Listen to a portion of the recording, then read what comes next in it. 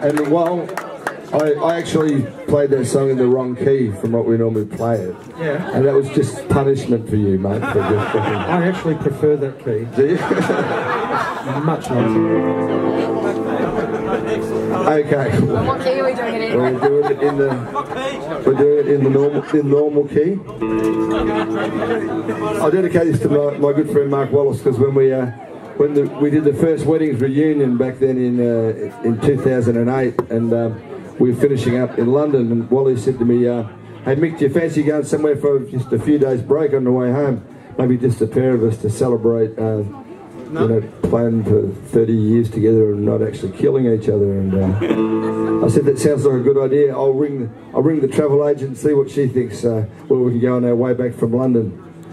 And uh, I rang, rang her and she's a good friend of mine. She said, Mick, I've got just the place for, for you two guys to go. So there were me and Wally found ourselves. One night we're in London, next night we're sitting on a beachfront in the Philippines. And, uh,